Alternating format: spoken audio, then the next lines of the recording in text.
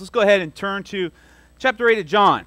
Chapter 8 of John, we're going to begin today in verse 21. No, not. Excuse me, 12. I lied to you. That's the first one. Only one for today. Chapter, uh, verse 12 of chapter 8 of John. Um, and uh, instead of reading from my uh, iPad, I'm going to read this from the scripture today from the Bible. But pray for me. I didn't bring my readers today, so I'll be like this, trying to make it focus. Um, if you're visiting today, you are catching up in a series just in the Gospel of John. But over the month of Thanksgiving, what we said we're going to do as a people of God as we prepare for Advent, um, and as if you are visiting, you haven't been here in a while, you hear more of our story over the past year.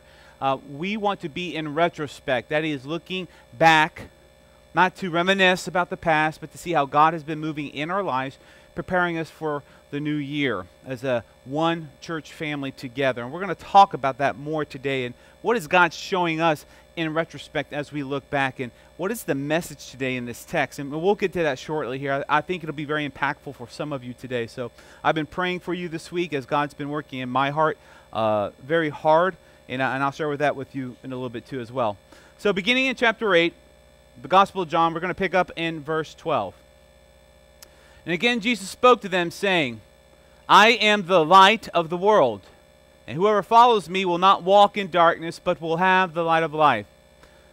So the Pharisees said to him, You are bearing witness about yourself. Your testimony is not true. And Jesus answered, Even if I do bear witness about myself, my testimony is true, for I know where I come from and where I am going. But you do not know where I come from or where I'm going. You judge according to the flesh. I judge no one. Yet even if I do judge, my judgment is true. For it is not I alone who judge, but I and the Father who sent me. In your law it is written that the testimony of two people is true. I am the one who bears witness about myself, and the Father who sent me bears witness about me. They said to him, Therefore, where is your Father? Jesus answered, You neither know me nor my Father. If you knew me, you would know my Father also. These words he spoke in the treasury as he taught in the temple. But no one arrested him because his hour had not yet come. So he said to them again, I'm going away, and you will seek me, and you will die in your sin. Where I'm going, you cannot come. So the Jews said, Will he kill himself, since he says, Where I'm going, you cannot come? He said to them, you are from below, I am from above. You are of this world, I am not of this world. I told you that you would die in your sins, for unless you believe that I am He, you will die in your sins. So they said to him, Who are you? Jesus said to them, Just what I've been telling you from the beginning. I have much to say to you and much to judge, but He who sent me is true and I declare to the world what I have heard from him.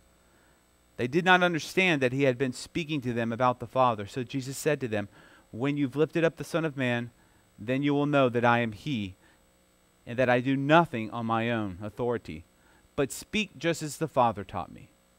And he who sent me is with me. He has not left me alone, for I always do the things that are pleasing to him. And he was as he was saying these things, many believed in him. This is God's word. May we pray. Father, we are thankful to be in a place this morning, Lord, where we can break away from the focus and the things of this world. As Dave was saying this morning, God, uh, so many of us uh, might be in here today and we're wrapped up in the election process. We're wrapped up into the, the thoughts of what's going to happen this week, God. And con- doesn't matter what happens, Lord, the truth is you still reign. That all government and all authorities are under you and your sovereignty, Lord. That we are your people. And we live in direct relationship in this kingdom, God. So let us always be about doing your business, concerned about your things. And as Jesus taught us, let us confess our anxieties to one another. Let us confess our sins to one another so we may be set free and live in this kingdom of light that you brought, Jesus. So, right now, come and through your words and through the preaching of your word, God, give us life. Bring us the light of life, Lord. Let not your people leave here in the dark. Let us see clearly, Lord, the truth of who your Son is so that it may change our identities, God. That we'll leave here different than when we came in, putting our hope and our faith and our trust in you, God. This is only done by you, Father. So please come. And we pray this in the name of your Son, Jesus. And all God's people said, Amen. So, when I moved to Georgia a little while ago, it's been over six years now, seven years. Um, it took me two weeks driving around in Georgia, and I couldn't put my finger on it. There was something wrong around here at Georgia. Didn't know quite what it was. I don't think it had anything to do with people speaking in slurred accents. Uh, by the way, I mean, if I didn't say this at the beginning, I, I, we're coming from South Florida. I grew up in Miami for 18 years, then moved to West Palm. I mean, all dead South Florida, right? And it took me a while to kind of put my finger on it. One day we were driving around at nighttime, looking for directions, trying to find some place to go. I actually was trying to find our way back home from coming out to dinner, having the hardest time. And here's what I finally realized it's dark here. Literally, I don't. If you grew up here, you, you're kind of used to it, right? You drive, and, and, and all the time, especially if you're new around here, Anthony, you might encounter this too, coming from the city life, right? You driving past the road, oh, there went, right? Because there's no lights on it. You know, it's this big, especially with my eyesight of a mid, my, my, my, my vision of a middle-aged man. I can't see things anymore anyways, right? So Heather and I are always fighting about who's going to drive at night, right? So because it's it's dark here. Now, growing up in South Florida, here's the deal. Let me tell you. I was a kid of the 70s and the 80s. If you lived in the dark, you were in trouble. Because here's the thing that was going on in South Florida. South Florida is a totally different monster than most other cities. If you've ever been to LA, it's a lot like LA, right? You have the city, which is a few buildings like this, right? Just in the middle of downtown, and then everything else is what we call sprawl. Sprawl is when developers come in and they just build, and it becomes a concrete jungle of mini malls, homes, and complexes, okay?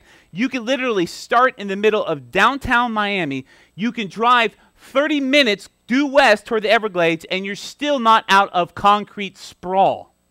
Right? This is what it's like growing up there. So here's what would happen. In the 70s and the 80s, with the influx, all right, we're, we're, we are now coming out of the, the time of um, racial tensions in America, which are still high right now, but that was happening in Miami. You're coming in with all the island people started moving into Miami, right? All right, Cuba had closed down its borders, so now you have illegal immigrants are flooding into this area. Here's what started happening. I'm not blaming this on the race. I'm just making a point here. The darker it is, the more likely you are going to get robbed.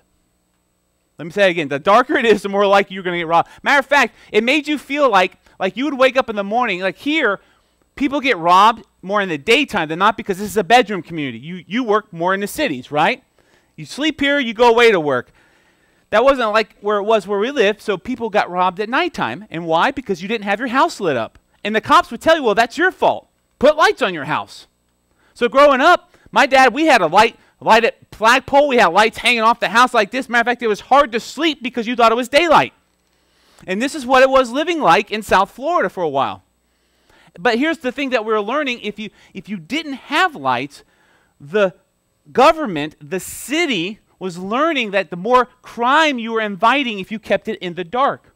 So a lot of the money went into taxes to pay for street lights, lights on the roads. That's what they were learning. And just I bring that all up to say this. I don't think we live in a bad place. It's like, unfortunately, we, we don't have the same problems as a big sprawling community like that has. But in much the same way, our spiritual lives are the same way as this. Is wherever you find darkness, wherever you find that you've been left alone too long, this is when problems start to happen. Am I right? When things aren't brought into the light like they need to be as a confessing church, what we want to be here, this is when things don't get confessed and secrets and lies begin to take root and bad things happen in the dark. So, as we come into our story today, we are coming into one of the most popular passages of Scripture in the Bible is when Jesus declares that he is the light.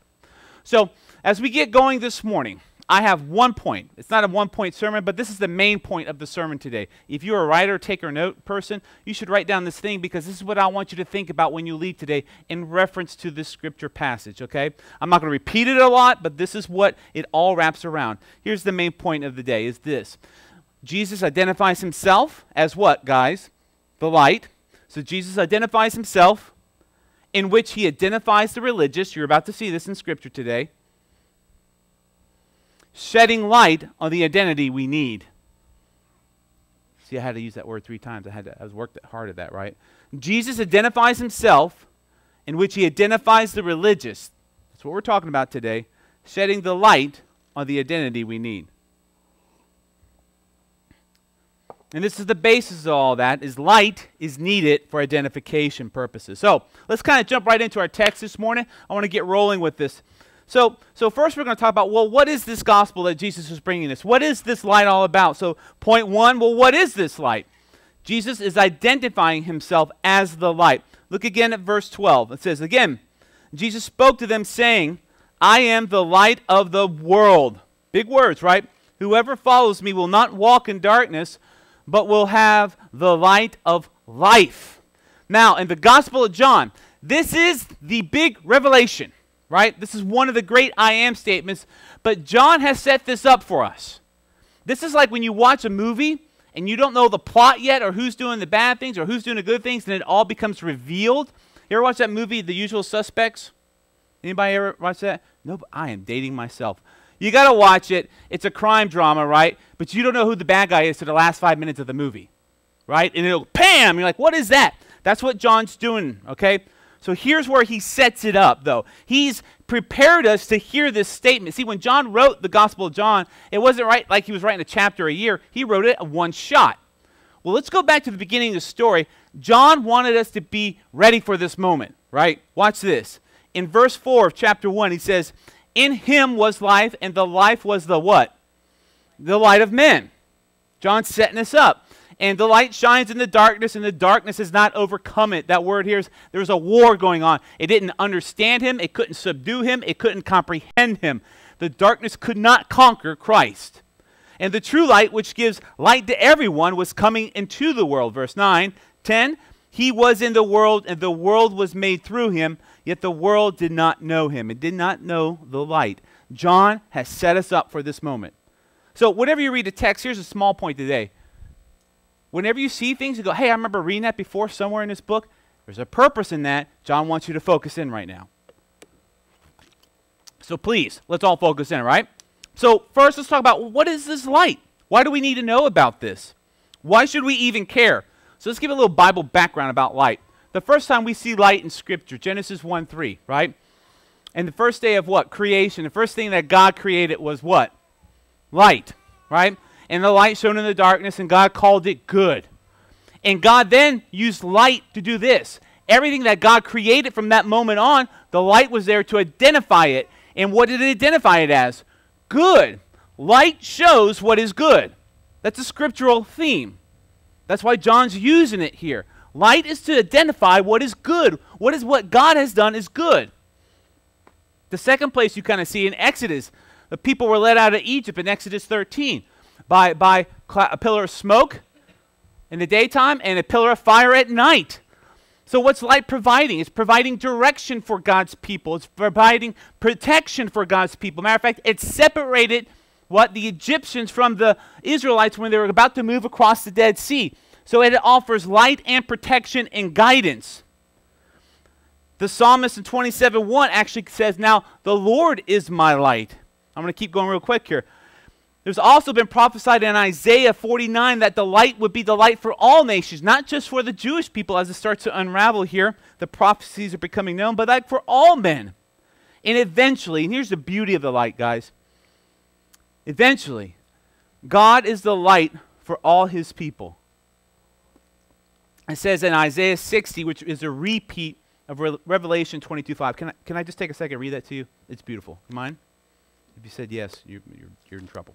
All right, let me read this to you. Again, forgive me, I don't have my glasses. Isaiah 60. the beauty of what God will be for his people. Beginning in 19. And this is the same thing it says it in Revelation 22. It says, The sun shall be no more, your light by day, nor for brightness shall the moon give you light. But the Lord will be your everlasting light, and your God will be your glory. Your sun shall no more go down, nor your moon withdraw itself, for the Lord will be your everlasting light, and your days of mourning shall be ended.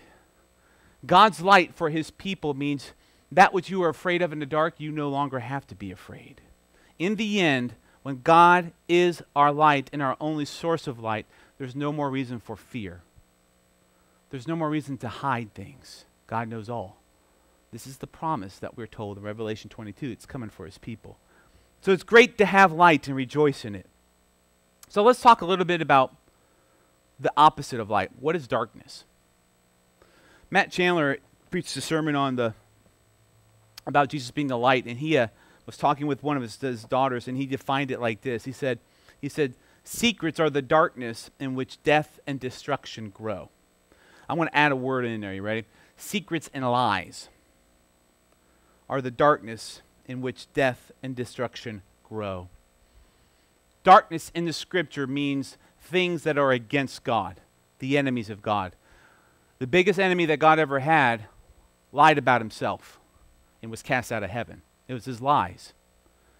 I don't know what it was like in those days, but he kept secret things from God or tried to, and God knew who it was, knew what he was doing. And for us as God's people, it's always been the same thing. Darkness represents for us the secrets that we try to keep from each other and the lies that we tell ourselves and other people so we're not found out. I just kind of want to open this up for a minute here. What kind of things are the secret and the lies that we keep here as God's people? And, and if you're visiting today, you might not be a Christian. This, this message is more for Christian people. There's all elements of the gospel. You will hear it today, but you're going to hear a lot about the church in it today. But think about that for a minute. The secrets that we have a hard problem with. Um, I think about things like this. I, I, I think about, because I've heard this story a lot. Uh, I've talked with people about this story. I think things because of social media, Facebook, especially with whether it's men or with women, things like this, little secrets like you're not happy with your relationship at home, so what you do is you begin to contact the old ex boyfriend, ex girlfriend. That's a secret, isn't it, right? But you know what happens with religious people? We don't share that stuff, do we? The religious kind of starts, now I can't do that because why? We're fearful of being convicted or fearful of being cast out, fearful of being condemned. And a lot of times we fear that. You know why? Because we would do the same things, aren't we? Guys, some of us, you know, things like you're spending a little too much money on the weekend fantasy football betting. It's cutting into your tithe money. It's cutting into your grocery shopping money. It's cutting into your wife's salary, right? Things like that. Think about that. Little secret things that we keep in the dark that keep us from confessing because we're afraid of what others may think about us. Because really, we're kind of the same way. We judge harshly, don't we, as a people, if we admit it? We judge harsh. Those are the secrets in the dark type of things. So, how do we come to the light if we're afraid to? How do we actually get there? As I said, light identifies its own drawing the people of light. It becomes like this moth to the flame syndrome. The more intense the light is, people actually begin to let go of secrets and let go of lies, and they begin to come to the light. And Jesus' claim here, so, in saying this, has to be taken very seriously, doesn't it?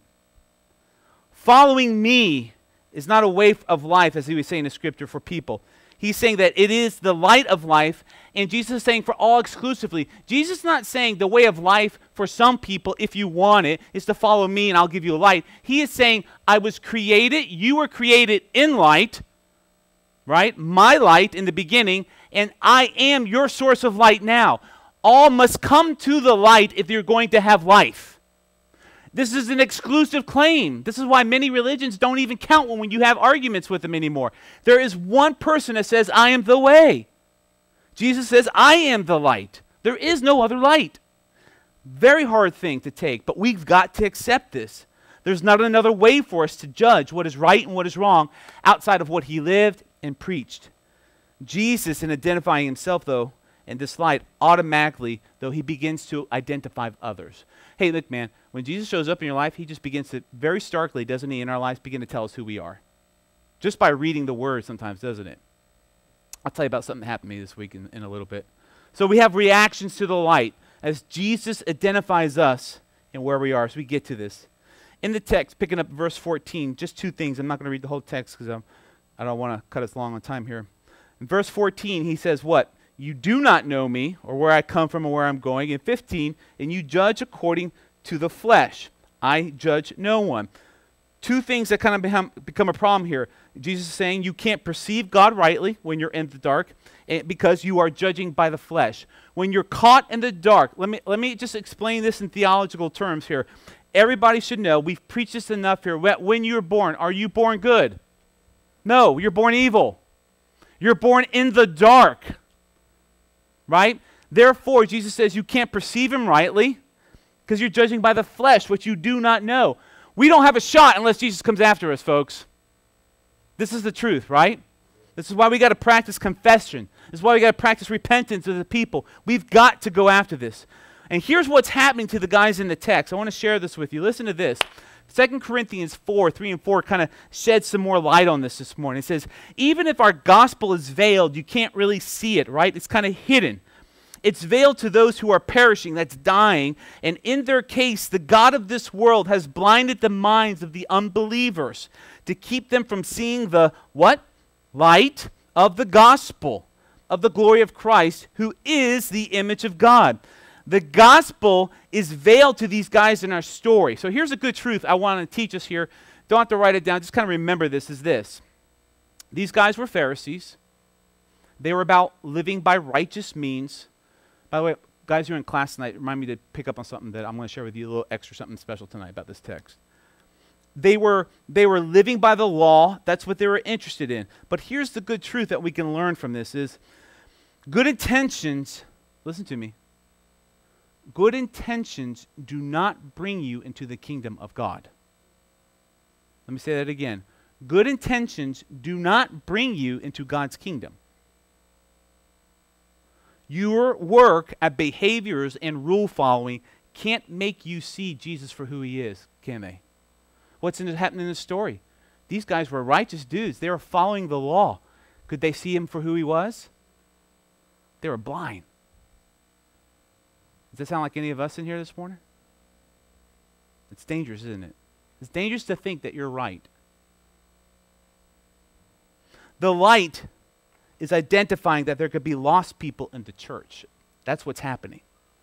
This was the church back then, guys. And the light was coming to the world, and it did not know him. This is the, the word I'm going to use for it. The people here today is the religious. The religious as Tim Keller would say, there's two types of confession that every Christian has to go through. Remember what those are? Confession of sin, confession of religion. We got to go through both of them as Christians. The religious people in Scripture, and I think I'm going to expand this out a little bit, and in church are this religious people follow codes of conduct. You might be this person, you might have grown up with this person, you might have been in a church that was like this. I was in a church like this that says that if you follow the, road, the code of conduct, you're okay. That means if you went to church Sunday morning, Sunday night, Wednesday evening, plus dinner on Wednesday evening, you stayed for choir practice, you went to your prayer meetings on Wednesday, you read your Bible at least during the weekdays, maybe on weekends you could take off, right? You said your prayers before every meal, and you said some prayers into the day that you were okay. Religious people follow a code of conduct thinking that makes them okay with God. These guys in the scripture, guess what they were doing all the time? Reading their Bibles and praying and discipling other people to be just like them. Code of conducts don't get you into God's kingdom, Jesus is pointing out. Religious people love to show others when they're wrong. Religious people love to condemn others. They love to attack others for what they believe. And here's a big one they don't like to say sorry. Well, you made me do that. Well, it's the truth. They don't like to say sorry about things.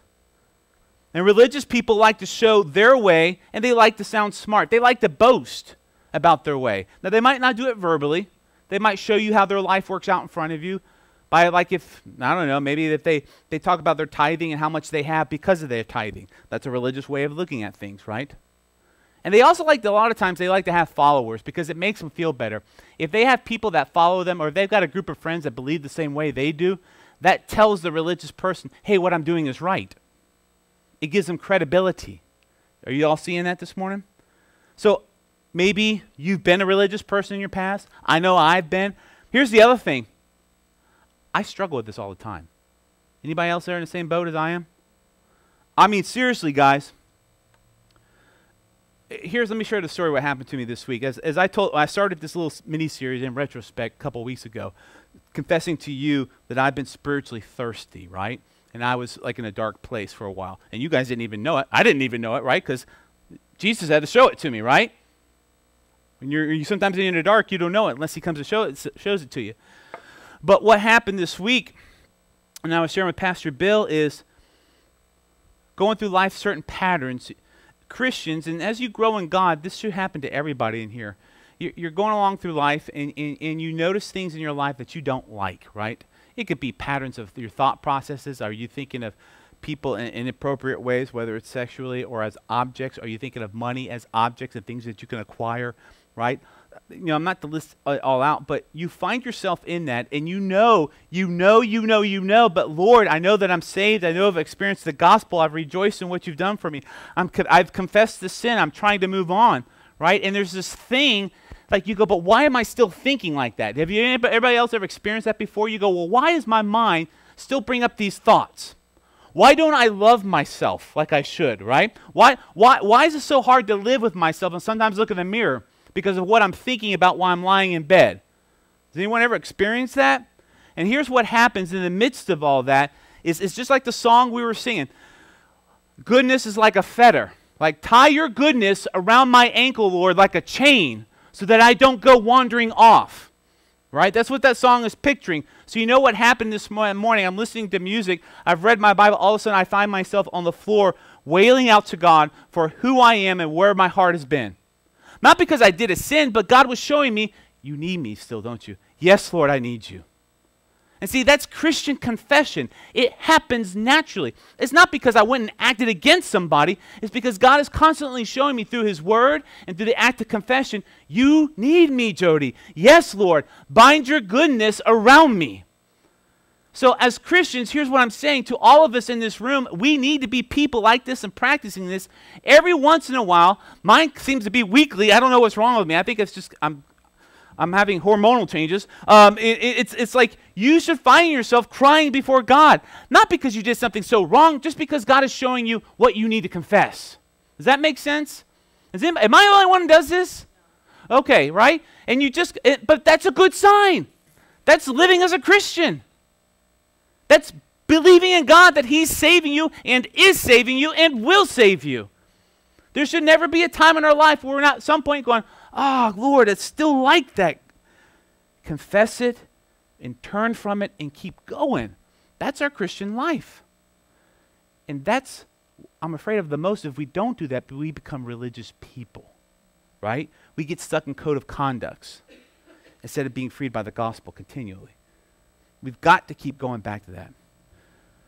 Whew. So Jesus identifies himself and as the one who judges the right way of life not the religious people. He does the judging, he says. And he has shed some light on this, I wonder, for you yet this morning, as I've just asked you. So there's two things we can do here, and, and this is not the, like, how do we respond to the gospel? This is just things I was putting in here because I'm going, well, how, how, do we need to start handling this? Because this isn't the hope, of, all the hope of the gospel, but just a different way. I want to offer you a different way of thinking about this. Here's the first one I think that we can do here. Is one, I want us to do this. I think as a church, we need to stop judging ourselves against other people in the church. Okay? Don't look at me and go, well, Jody does this, I should be doing this. Or don't look at yourself going, why isn't that person behaving like me? We need to stop that. Who's the only one that we should be judging ourselves by? It's Jesus. That's what he just said, right? He's there. The light is there to identify you, not other people. We have to stop that, right? Jesus said in 16, My judgment is true, for it is I alone who judge It's not I alone who judge, but the Father who sent me. Secondly, I think we have to do this. I think we got to come to Scripture. That's Jesus with the expectation of being discovered. When you read the Bible, I've said this many times. This will be one of our things that we're going to pound on the on the podium. We don't have a podium. We have a bandstand. Constantly, right? Is this when you read the Bible? Do you read it to get answers for life, or do you read it to get Jesus? Who do we? What do we read it for? We get to get Jesus, right? To get Christ. That we want to see Jesus coming out of the text. But here's the thing: when you read it to get Jesus, be prepared to be found out what you're hiding. So is it going to make you happy all the time when you read the Bible? No, but that's normal. Jose was talking about that last week. There's a shame that leads you to repentance and confession, isn't it? Right? That's normal. Be prepared to be found out when you read Scripture. Anticipate it. Pray that. Jesus, I need to be found out what is hiding in here. Show it to me so I may confess it, Lord. So this brings us to now we've seen who is Jesus in the gospel. What's the gospel doing for us? It's identifying us. And how is the gospel working for us right now? So it brings us to three the workings of the light. Jesus' grace for us. There is so much grace in what the light does for us. Now, if your parents, remember that old saying as your parents told you growing up when they had to spank you, this is going to hurt me more than does you? Right? That? How many of y'all believe that? Not many of us, right? But Jesus loves us enough that his discipline is tender, it's kind, it's meant to bring you back to him. So let us learn about this right now. So, the workings of the light, Jesus' grace for us. The light keeps speaking, it speaks more. It speaks for more than just himself. Jesus says in verse 26 of our text today, He says, I have much to say. He's declaring now, He's giving good news about you and much to judge. But He who sent me is true and I declare to the world what I've heard from him. So, so now we see there's a message, not just from Christ, but it's from our Father God. He is bringing a message that we cannot hear because we've been in the dark. Jesus has brought the message into the world to hear from our, from our Father, that person that we've been estranged from.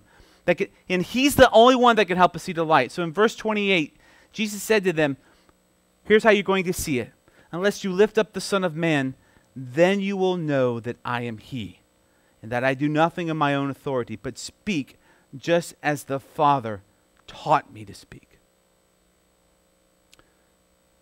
At last, the light has revealed the huge truth. There's revelation now. This is what's going on. There's a plan here the Father had a plan in sending Christ. The Father had a plan in hiding and veiling this gospel from the people at that time. There's scandalous grace going on here. To defeat the darkness, to defeat the lies, to defeat the secrecy that we live in. The Father uses glory seeking religious people to believe that by killing Jesus, which they would, that they would extinguish his light and let them live in their own co- conduct and let them build glory for themselves. But in that, the attempt at light extinguishing, it actually made the gospel explode, didn't it? The plan was, was to let his own people kill his son. Try to put the light out. And instead of putting water on a light, they put gas on a fire, didn't they? So what happens instead of being extinguished, it's actually getting brighter all the time. And, and, and it's the only thing, this hot little fire is the only thing that can bring religious people out of where we are here's what's happening. And this, this fire burns brighter all the time. If you think about when it started to now, how many people have followed Christ? And every time you have another person follows Christ, is throwing another log on the fire. This type of light can never go out. This kind of light is self reproducing now. It can't be extinguished. But here's what happens if you've ever been outside when it's really cold outside, and you light a fire outside, what do you hear going on around that fire? You hear suction. It's drawing in oxygen, producing heat. Here's how the religious people of our day are saved. This is why the church is important. This is why we need to be confessional and relational with one another. This is why we need to repent sin, is because of this. It's only that when we get sucked into a fire, a holy fire produced by the, by the Holy Spirit, is the only way that we'll ever come clean. See, if you have a dead church and nothing happens and no one ever confesses, everything stays secret. and code of conduct never gets broken. But if you've got a fire that starts boiling, people get sucked in it and you become fuel for the fire. And the more fuel that's added on the fire, the more confession and repentance begins to happen. You all seeing that? Can someone say amen? I think you all did this morning, right? That's how religious people are saved, is when it bursts out in their midst. So, what's the light been doing for our church in retrospect? I want to talk about this for a second before we, we wrap up. I think this. As Jesus has been declaring us to the word of what we've been learning, as we've been learning in the Gospel of John about who Christ is, and as we came up on this little section here about, in retrospect, how do we look back so that we can move forward in faith? Here's what I think we've seen last year. Let me speak to each one of you and let me slow this down a little bit. Okay, you ready? And if you're visiting the room or you've not been in here long, let me teach a little church history over the last year. We were two churches that we joined as one last, I'm going to say last December. That's really when we started meeting together. And so, what happened over the last year? We wrote out all these goals. Well, we want to have this many missional communities living in the community. We want to have this little, this much DNA groups and people meeting together. And we want to get our build up our children ministries to be like this. And we want to build up our, our, our liturgy team. So what the Sundays happen like this. And here's what has happened for every one of those goals. Happen. You know what? What happened? Jesus said, "No, no, no, no. Go live as a people for a while." And Jesus began this process. He sent us out in the desert with nothing except one thing his light. And what has he done for that one light? He's protected us and he's guided us to this moment. But do you know what happens when Jesus does things like that? This is called grace. Because you know what would have happened if we would have came in together as a body and ministries would have started producing and flying off? All of a sudden we got 20 missional communities. Everybody who was like up for missional communities, I told you my way was right. I told you this is how we should do things. If DNA would have taken off, I told you we should have been doing this. Right? Or if we had 400 people coming on a Sunday morning, I told you we need to pay more attention to this. And then what happens when Jesus is birthing a church? It begins to get lost in ministry idols. And people begin to hide in the little corners of ministry idols because if I'm right, you don't have to know about me. And I can judge you because you're not like me. Do you see that? So, what's been happening this year, it's been grace. Nothing but grace, guys, that nothing is taken off like it's supposed to or like we think it. But we can't see where God is waiting for us down the road, can we? This church will look totally different than we've ever thought it would be. I'm okay with that, are you? Right? So let's turn the page on that, folks, and thank God for releasing us from these idols. So, again, I want to ask you are you finding that spot where you need to confess of your religion? It brings us to the way that we respond to the light now. It's the last part. See, God always works this way in Scripture. Guys, Messiah, you'll recognize this one. First, He reveals, then He blesses, right?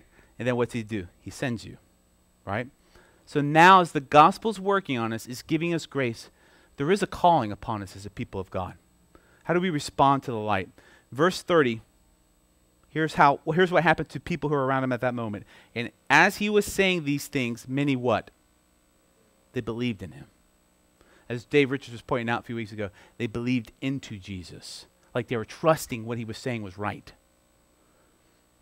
So is that you this morning? Are you believing into Jesus? Do you see that he's saving us from being just another church, religious churchgoer? Coming into light means Things like this confessing our sins to one another. It means repentance once we've confessed to turn from those things. It means following Jesus. It means discipling one another and how to follow Jesus. It means that your slate's been wiped clean and now people can actually see light through you. I want to give you one of the glorious things of Scripture here. 2 Corinthians 4 6 says this For God, who said, Let light shine out of darkness, has shown in our hearts to give the light of the knowledge of the glory of God in the face of Jesus Christ. The calling of Christ in our lives, my family, is to share with what He's given you. That's light. That's the calling that Jesus is putting on us. So, in this instance, in this moment in time, here's what Jesus is asking of us to begin to share where have we been hiding in the dark corners, not stepping fully into light. So that Jesus can tell others how he loves them. And we begin to confess this to one another. See how the Lord's been working in your life? See how he's been working in my life? And we all begin to grow in faith because we see how Jesus has been working in each other. This is how unity in the church begins. It begins with confession. And light pours out of you because you know why? You were made to be a mirror to reflect the light of Christ into others' lives. We're reflecting his image now. Let me give you, if, if church, if we really kind of stepped into this, and, please understand me again, I told you, I'm, I get into like Coach Jody sometimes. I love you all. I get mad at myself more than anything, right? I'm expressing joy right now. If we were to become a church that would confess our dark corners we hide in, here's what happens. Here's what it begins to look like. We'll see less of this. Religious people will always pursue others to tell them what's wrong, but redeemed people will be pursued by others to find out how their life is working. How does that work for you? I just saw you, someone get mad at you and you forgave them. Someone didn't pay you back and you, you said you gave them more. How does that work? And people will pursue redeemed people to find out the secrets to life. This is, could be us. Religious people get tired and frustrated by the world, but redeemed people will strangely find joy from sufferings that associate them with Christ. You've got a long next four years, whoever's president, guys. Are you going to do it with a smile on your face or scowling every day? People want to run to that person who's found joy. Reflect Christ. Reflect Him. Religious people point to the way that they've developed and how they should live life. Redeemed people point only to one thing the cross. There's my salvation, and I know that I'm loved. And you can have the same thing. And religious people seek to glorify themselves by their accomplishments and their acquaintances, and look who's following me. While redeemed people, they only point to the only person they wish to impress, which is Jesus. It's who they can talk about. Let us be a church of redeemed people, not religious people. So, in retrospect, as we that's been kind of the theme here, guys. I want us to do this. I want us to keep asking ourselves and confess to one another where we've gotten kind of lost in the dark. And it doesn't mean it's like some deep, dark sin. Like in my house, we only have windows. It's kind of weird, newer homes. You only have windows, have you noticed, on the front and the back. You very rarely have them on the sides, right? Florida, you have windows on every side because it's so hot, right? I had a house that was built in the 30s in Miami. It, when, the whole thing was windows, right? So you get natural light all the time. In my house, I noticed the other day, light was coming in the front dining room windows, and you know what it created?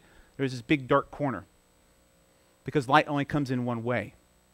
And as I was seeing, I was thinking, we got to be a people who we're kind of towing in the light a little bit. We kind of like it, but there's this dark thing that we don't want to give up. And sometimes when you like that dark thing, you'll, you'll really scooch in a corner and you don't want to be known.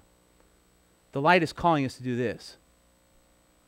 It's calling us to confess it and to let other people see it. I want us to be a church where this is not strange. This is common. This is ongoing. This is so that we can reflect the light of Christ in others' lives. So, in retrospect, I want you to ask about those dark corners. Ask the Lord to show them to you. If He drives you to the floor in tears, call me. I'll come cry with you. I'm serious about that. And we'll love on each other. And what dark corners do you like to hide in? And where are you fearing and losing? What are you fearing and losing step into the light? So, I want to leave you with this, guys. If you're despairing today, this, this message is not meant for you to despair, it's meant for you to have hope. Religious people are only saved when they see the light of Christ. Okay? So here's the good news. If you're feeling conviction over these things, let, let, me, let me proclaim the gospel to you. In Philippians 3 20 and 21, it reads like this It says this, but our citizenship is in where? Heaven Guys, you're a United States American citizen, second. You're a citizen of heaven, number one. That is your allegiance. Listen, and from it we await a Savior who's coming back for us, the Lord Jesus Christ, who will transform our lowly body to be like His glorious body by the power that enables Him even to subject all things to Himself. This is who you are you are part of the light. You're not a part of the kingdom of darkness. Your conviction if you're feeling it this morning, if God has tugged on you somewhere about code of ethics you think is what how you get saved, is Jesus subjecting you to his will? He's saying, Let me identify you first, just like he did to the Pharisees. You don't know where I come from, and you don't know what I'm about. He cares too much about you to leave you in the dark, family. He's bringing you into his light. So here's my request of you today let him love you today. Step into the light. Begin to confess to him and your family where you've been hiding in all this time. Let people know. Jesus is the light, and he's given you a new identity, folks. You know what that is? You're the reflection of his glory. You reflect the glory of Christ. You are light bearers, my family. That's who you are. You're not the darkness. Don't be in it. Come join your family and believe in what he's going and doing into you, O citizen of heaven, today. Amen. Let us pray.